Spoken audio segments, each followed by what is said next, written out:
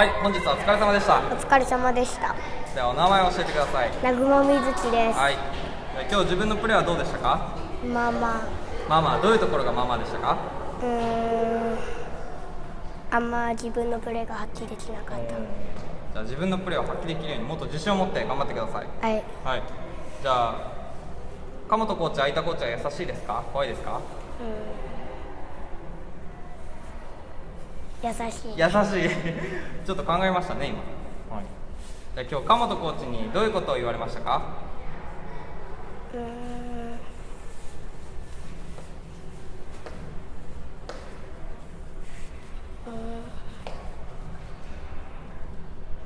覚えてないですか？うん。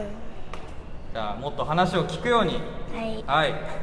じゃあ学校以外サッあ丸場以外では何かやっていることありますか？英語と英語。英語。英語やってるんですか？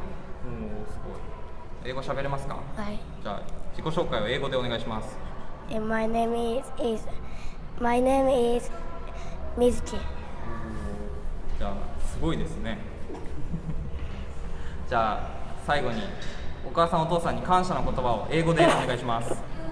えそれ言えない英語は無理。日本語でもいいよ。えー。日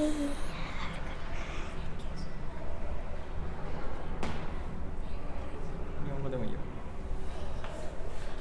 感謝の言葉をお願いします。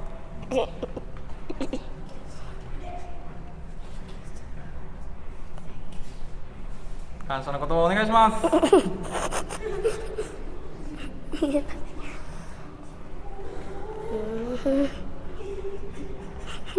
はい本日はありがとうございました。ありがとうございました。